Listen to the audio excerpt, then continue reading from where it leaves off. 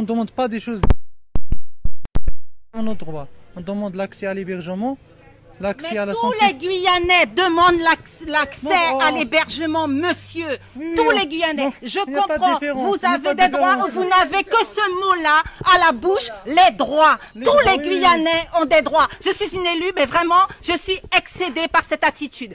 Tous les Guyanais, Oui, je parle tous les ans, Français. les. Et laissez-moi parler. Tous les Français. Les Je sais que vous n'aimez pas les femmes, Il j'en ai n'y a pas- rien à foutre. Tous les Français ont droit également au logement. À l'heure actuelle, les d'accord, Français se foutent de la rue pour vous permettre d'être logés. Il y en a ras-le-bol. Moi, je vous dis, vous voulez aller quelque part? monsieur, euh, Venez, suivez-moi, je vous emmène quelque part. distinction entre les demandeurs d'asile et les Guyanais.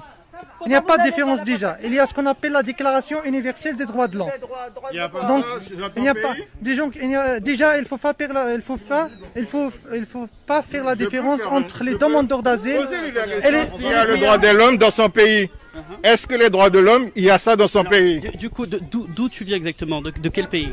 Euh, de Maroc. Je suis d'origine marocaine. il y, a pas- il y a le droit de l'homme dans ton pays? Est-ce qu'il y a le droit de Dans, l'homme dans la réalité, c'est un peu compliqué. Alors, pas. ne, alors ne viens pas nous donner des leçons. Ne viens pas nous donner des leçons. Non, je, je ne suis pas. Non, euh, ne, ne viens pas nous donner dire que la convention de Genève, ça c'est pas notre problème. Ne viens pas nous donner des Donc leçons. vous êtes contre les, les demandeurs d'asile, vous êtes Mais, contre vous les- avez, mais tu n'as pas, le droits- droit- tu n'as pas le droit d'être ici. Tu es en train de salir chez nous. Pardon, qu'est-ce que vous Tu es dites en train de salir chez Il nous. fallait Je n'ai se pas le droit d'être ici. Il fallait se Déjà, il faut renseigner étudier les avant de déclarations. prendre la direction de la Guyane. Des- Vous